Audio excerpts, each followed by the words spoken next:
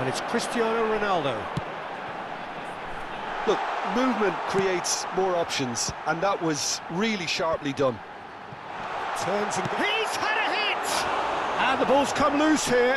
It's Neymar! He scores! Hot knife through butter. They have done it again.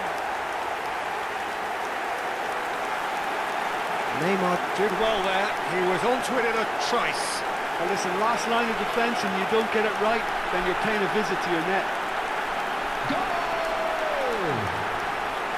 After 18 minutes is number